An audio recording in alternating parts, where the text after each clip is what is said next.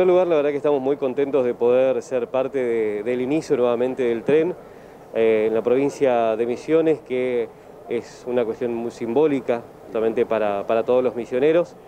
Eh, como beneficio, en realidad es beneficio para todos, más para este trayecto Misiones-Zárate, en cuanto a descomprimir bastante digamos, la, ruta, de poder usar este, este tren eh, con los contenedores que estamos hoy iniciando recién eh, esta forma, digamos, de, traslado del producto nuestro, producto final. Eh, en el tema costos, ¿qué, diferencia lo representa a ustedes? En realidad ahí es un tema muy, muy variable dependiendo de desde qué punto lo analizamos, si lo analizamos o lo comparamos con, con bitrenes o con trenes que cargan emisiones o trenes que con el transporte carretero, que es lo que se utiliza mayormente aquí. Eh, y estamos hablando aproximadamente de un 10%, digamos, de beneficio eh, que representa en costos económicos, más o menos. Eh, bueno, eh, además están avanzando en la implementación de, de, bitrenes aquí en la provincia. Sí, hay algunos corredores habilitados ya desde, desde hace un tiempo en la provincia de Misiones y bueno, también es una forma más, más segura, más sustentable de, también de, de, transportar cuando hablamos de, de camiones, perdón, Así que la verdad que es una experiencia también eh, muy reconfortante digamos, para la empresa.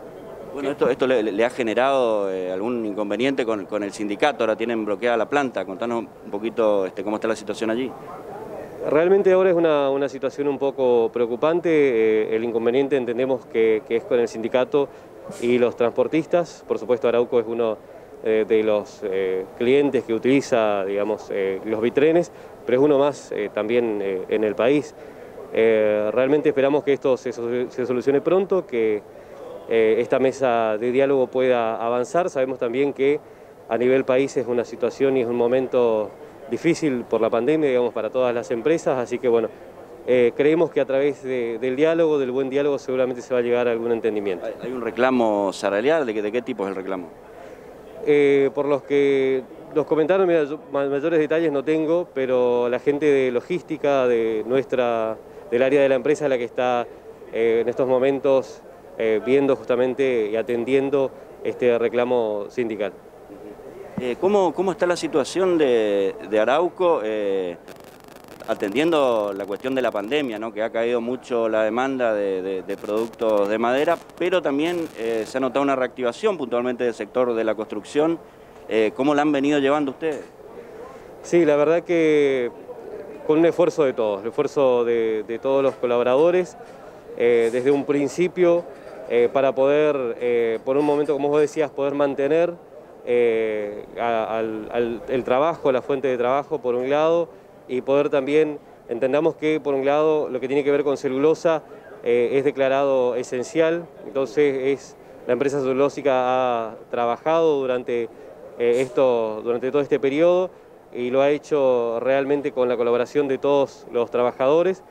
Y en cuanto eh, a lo que mencionabas, que sí, el mercado estuvimos, es una cuestión que estuvimos atendiendo durante eh, este tiempo y bueno, hubo momentos en los que fue un poco más difíciles, pero de a poco se va, va saliendo, digamos. ¿Fue, fue pronunciada la caída en demanda de, madera y MDF y, cómo se fue desarrollando a partir de los últimos meses?